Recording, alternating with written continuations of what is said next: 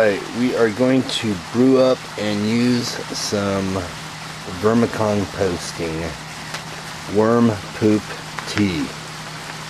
Step number one, get your little tea bucket ready. Got a five gallon bucket here with a couple of items that I purchased at the aquarium shop. Get this little adapter here gauge adapter so you can feed one hose in there and then control three other. And at the end of each one you have these air stones let's see. Air stones. So that aerates the the water. If you're using tap water just put it in the bucket and run it for about an hour, you know, hour and a half to bubble all the chlorine out of the water. And then that runs up and attaches to an air pump. It's about $19. It's some fish shop down the way.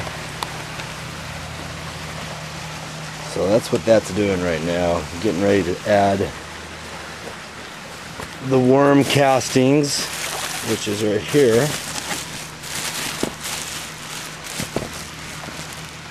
This is nature's gold is what they call it. Dark live soil for your growing pleasures. Okay, we're about ready to take the worm castings here and put it into the bucket of water from the tap. That's been going for about a good two hours now. So the chlorine should all be out of there. And what we'll do is start putting the compost in there. Yeah get your hands on some unsulfured molasses. Excuse me. Get your hands on some unsulfured molasses preferably organic. And then you'll be on your way. You're going to add about one ounce into there once you add that one ounce of molasses, go ahead and stir it vigorously with a stick and that feeds the bacteria which gets the beneficial species growing really well inside which is what you want. And we'll show you that here in a second okay, here we go. I'm gonna start putting it in here. This soil or worm castings is very much alive.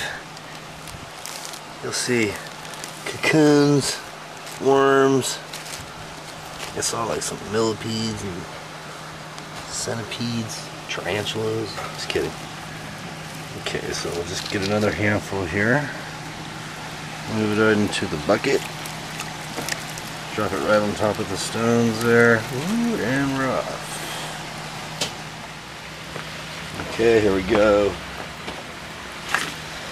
Right there, Grandma molasses unsulfured one ounce. The water should be a little higher and I should use a little bit more worm poop or worm castings but I want to conserve my castings for my plantings. I'll put a little more in there. Because after you use after you this goes for three days you take it out and strain it.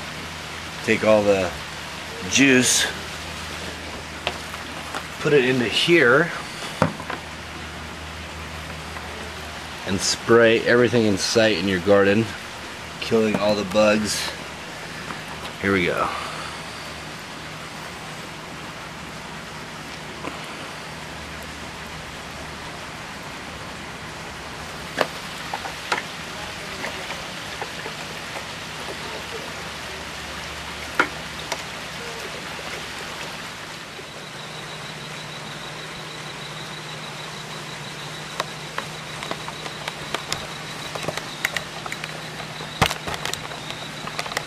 Give you a little peek inside here.